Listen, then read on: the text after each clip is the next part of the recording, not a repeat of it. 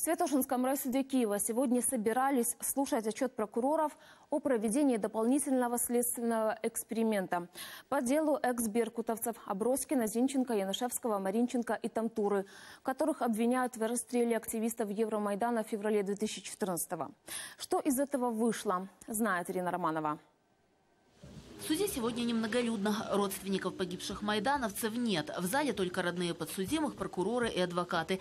Прежде чем приступить к отчету о дополнительном следственном эксперименте, который стартовал на улице Институтской в конце марта, защита заявляет ходатайство об отводе двух экспертов и прокурора. Я не довіряю цим експертам, тому що багато разів під час судових засідань зустрічались речі, які е, у мене, як у захисника, е, викликали обґрунтовані сумніви у їх упередженості. Прокурор Псюк, він на місці прийняв рішення. Вимога моя була незадоволена. Не удовлетворил, по словам адвоката, прокурор и другую его просьбу разрешить подсудимым участие в следственном эксперименте, хотя закон такое право им дает. Участь обвинувачених у слідчих е, у слідчому експерименті є не обов'язковою. Ці заяви про відвід як мене, так і е, спеціалістів є е, надуманими, зроблені е, з метою затягнути проведення чи взагалі унеможливити проведення цієї слідчої дії. Против участия экс-беркутовцев в следственном эксперименте и другие прокуроры мотивируют тем, что на улице обвиняемым невозможно стопроцентно гарантировать безопасность. Впрочем, за этим отказом больше сквозит страх, что беркутовцы могут попросту сбежать, как сделали это на прошлой неделе их харьковские коллеги Гончаренко, Войлоков, Костюк и Мастега. Их, напомню, задержали в июне прошлого года. Троих отправили под домашний арест, одного в СИЗО. 6 апреля апелляционный суд Киева выпустил Гончаренко из-под ареста. Сразу после этого все четверо совершили побег в Россию.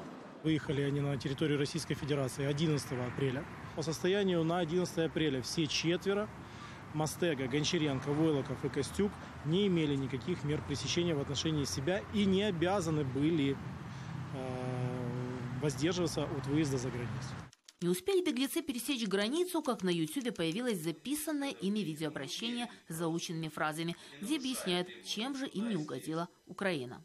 Когда 7 апреля 2017 года Сергей Горбатюк, начальник департамента спецрасследований ГПУ, во всеуслышание заявил и начал угрожать судьям апелляционного суда за то, что они посмели выпустить Харьковский Беркут на свободу уголовным преследованием, находиться на территории на Украины нам просто опасно.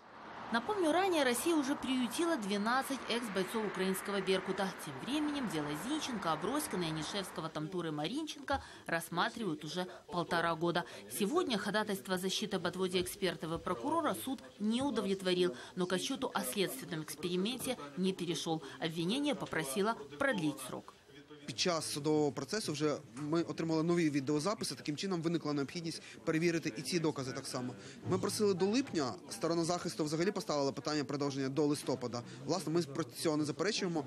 Свое ходатайство заявили суду и адвокаты разрешить участие в эксперименте их подзащитным. Судьи продлили его до 1 сентября, но решение участвовать экс-беркутовцев в следственных действиях или нет переложили на прокуроров.